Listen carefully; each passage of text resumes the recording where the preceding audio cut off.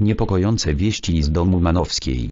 Mama bardzo się o nią martwi. Marta Manowska przechodzi trudne chwile.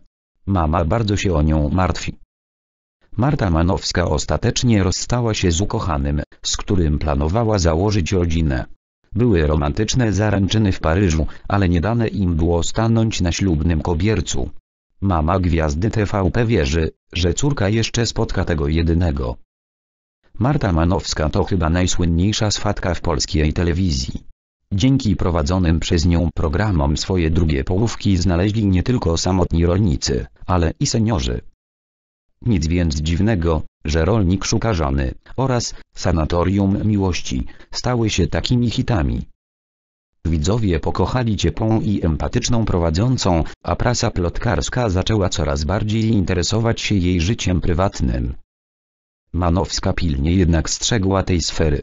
Być może nie chciała, aby pisano, że swata ludzi, a sama nie może sobie nikogo znaleźć. Los się do niej uśmiechnął, gdy na planie sanatorium spotkała przystojnego dźwiękowca o imieniu Adam. Tabloidy pisały, że zaczęło się niewinnie, ale z czasem zrobiło się coraz poważniej. Sporym zaskoczeniem okazały się informacje, że ukochany oświadczył się Marcie w Paryżu. Para zaczęła nawet planować ślub, ale wtedy wybuchła pandemia. Kryzys zaczął trawić ich związek, aż pewnego dnia z palca Manowskiej zniknął pierścionek zaręczynowy. Zamiast ślubu nastąpił kryzys w związku, a potem pandemia. Marta i Adam rozdzielili się na kilka tygodni. W TVP krążyły plotki, że to koniec ich idylii, donosiło na żywo. Pogłoski te mieli podsycać także sami rolnicy, których Manowska odwiedzała podczas nagrań do siódmego sezonu programu.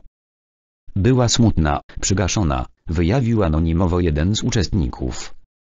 Teraz pojawiają się nowe doniesienia na temat jej życia uczuciowego.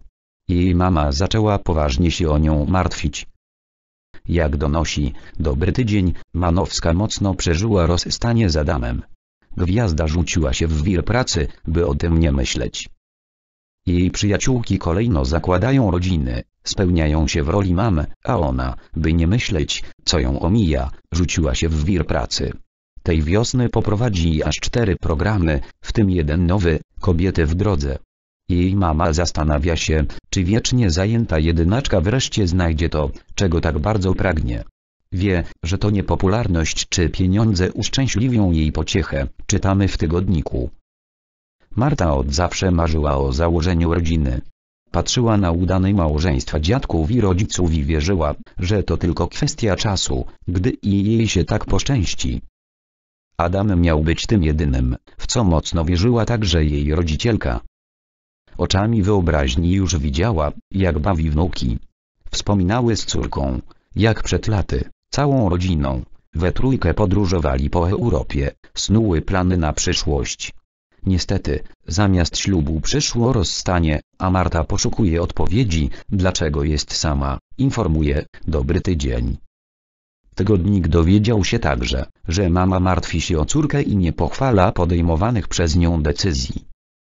Chciałaby, żeby zamiast zagłuszać ból, angażując się w kolejne projekty, zwolniła i skupiła się na sobie.